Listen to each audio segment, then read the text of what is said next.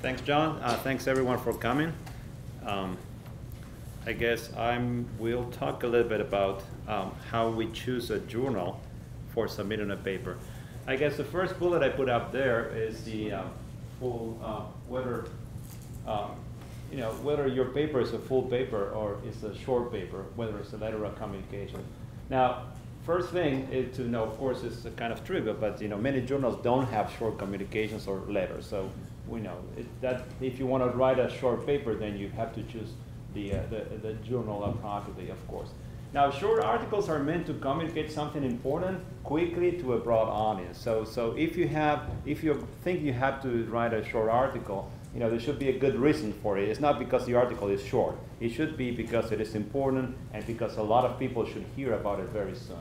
And when, when, you, when you write these letters of communications, most of the time you will end up writing a full paper in due time where all the details are given and uh, all of the, the, uh, the, things that people need to know about uh, uh will, be, uh, will be presented.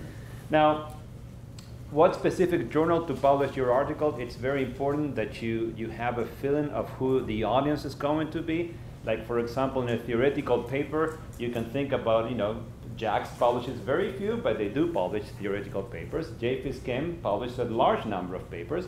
And my journal, Journal of Chemical Theory and Computation, publishes only theoretical papers. So why would you submit to one or the other? So this is, this is an exercise in thinking, okay, so if I have, if I have a paper which is going to be mostly of interest to theoreticians, then it should go to JCTC. But if it is of interest to physical chemists in general, including experimentalists, well, then it maybe it should be JPhysChem.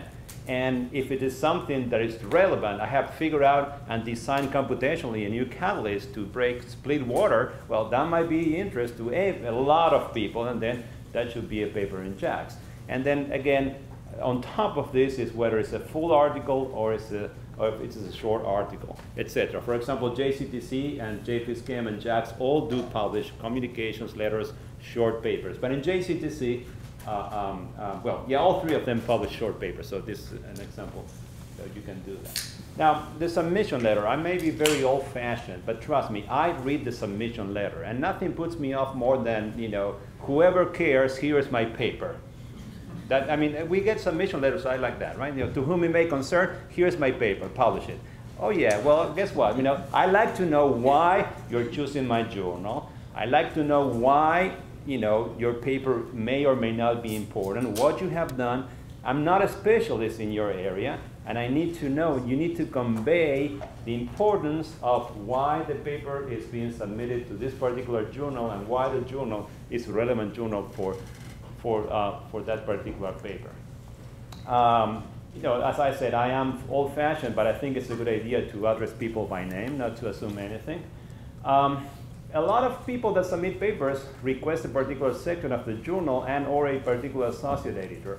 You know, this is something that you always want to do. Uh, I mean, uh, you know, especially if you think that your article belongs in a particular subsection, don't let the editor choose that for you. Just you can request it. The worst case scenario is that the editor-in-chief will not agree with you and just you know decide to publish the paper in a different section. But you know, the, the, you know, almost always, uh, I mean, at least in my case, I, we don't have problems with that. And uh, it's very, very important again to communicate the main message of the paper in a non-technical terms in just one paragraph. Something very, very clean that says, you know, I'm sending this paper to your journal because it's going to be of importance to, to the audience because of this and that reason, and the paper does this, all right? So why is it important, etc. And uh, right, now then come the reviews um, and the referee report. And here's my advice. Do not take things personally if the reviewer is too critical. You know, there are people that are critical. Most reviewers are critical many times they don't have most of the time a problem with, you know, they are not personally attacking you. So don't feel offended. Don't, you need to have a thick skin to play this game because there's a lot of people that are going to write things and uh, that, that are going to be, you know, almost borderline unoffensive. Sometimes I read all the reviews and sometimes I do delete things from reviewers uh, because I just find them completely uh, um, um, nonsense. But in any case, you know, different people have different aptitude uh, and, and, and, you know, to receive this kind of criticism, I think it's important not to, to take things personally.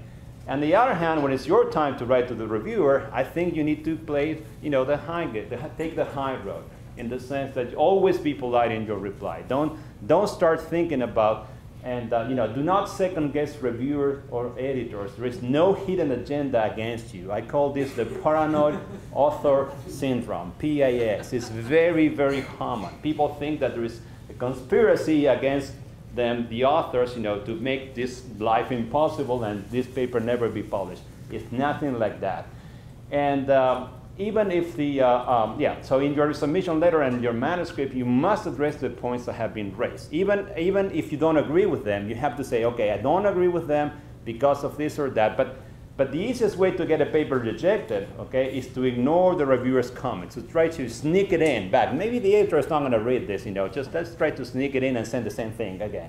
That's not going to work, all right? So, so the, the process of peer review is not to be ignored.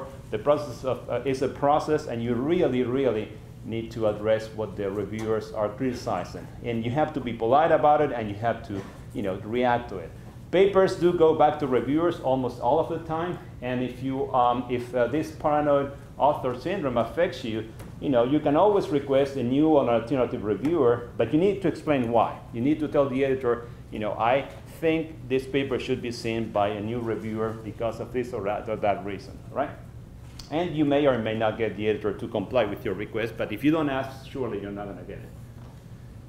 The resubmission letter uh, is very important to quote the reviewer to address a remark and clearly indicate your response action. What did you do to the manuscript in response to the point? Use color coding, quotes, different fonts, boldface, etc.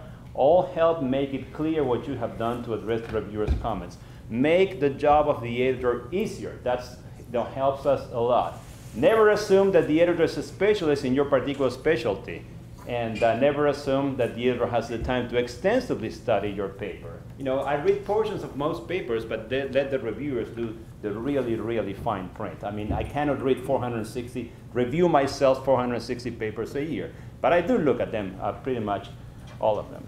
Rebutting reviewers is okay, but uh, again, be polite, precise, and very clear. And requesting that person X not be a reviewer without a clear explanation of a conflict of interest it's not going to work. And in my case, it's, you know, if you ask, I don't want this person to see the paper, that's a good reason for me to send the paper to that person because I want to know what that person knows about your paper that I will never know unless I ask that person. and, uh, but if you say, this is a competitor, and uh, you know, and this is blah blah blah blah blah, and that's a you know, it's a, there is a conflict of interest that this person will not be able to objectively review your paper, then I will abide to that. But if there is no reason, then, you know, I'm not necessarily going to abide by a request like that. And I guess now it's uh, Sonia's time.